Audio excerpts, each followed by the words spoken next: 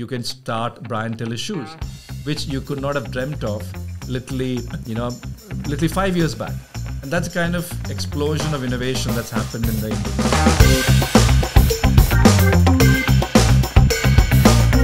So speaking of 20 years ago and today, you know, there's been obviously an evolution in consumer behavior. And so there has to be a different approach from a marketer's point of view. Tell us a little bit about the then and now, but more importantly, the now, and where do you believe today's consumer is and what is he looking for? One of the theories that we used to use back in, in 2000 was a classic AIDA process, which is awareness, interest, desire, action. Or let's say you you get somebody to be aware of a product, get them to try, get them to repeat, and then become a loyal consumer.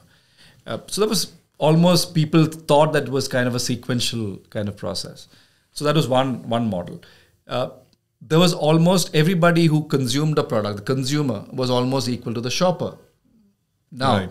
uh, or sometimes not equal to the shopper. There were two different people. A, a, mother would buy products for the home, and the and the dad or the kids used to be the users. So there were lots of different things happening. Marketeers used to see large homogeneous groups for marketing, so which they call as consumer clusters or consumer segments, and they would see India as being women 25 to 34 as one big cluster. Then they would see South as being another cluster. They were always looking at large homogeneous clusters. One big difference that's happened now is that this consumer segmentation has become really micro. So, for instance, uh, right now at, at our company, we can actually go down to pet owners in Andheri or you can go to uh, people playing golf in Gurgaon, right? Or we can actually find out guitar players in India, or people who love bungee jumping and potentially going on a vacation. Right. So these are real micro segments that you can identify today, and they'll only be 500, 600 people, but the current platforms, Instagram and Facebook and the Twitters of the world, will help you micro target. So, one big difference that we're seeing now is that large companies using massive television advertising to reach large groups versus companies now catering to micro segments. Huge, huge change. The second big change that we've seen is consumers and shoppers becoming the same. So let me give you a, a simple example. Let's take you're sitting here, Brian, and you suddenly feel uh, you're watching a match, and you suddenly say, "Hey, you know, I want to have ice cream while I watch uh, watch watch my football." And then you're the consumer, you instantly have your Swiggy and you become a shopper.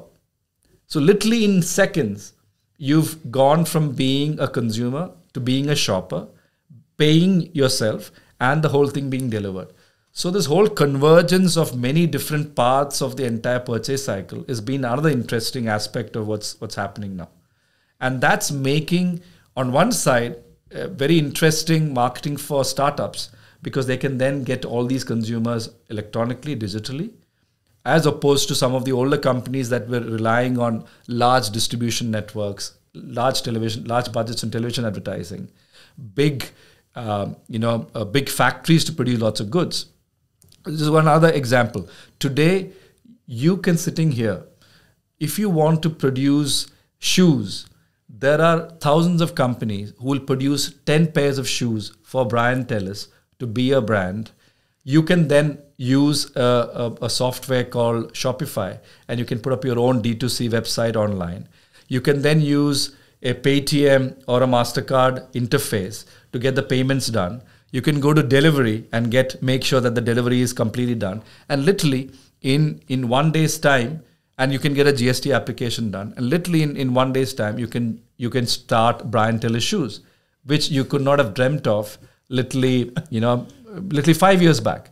And that's a kind of explosion of innovation that's happened in the Indian market.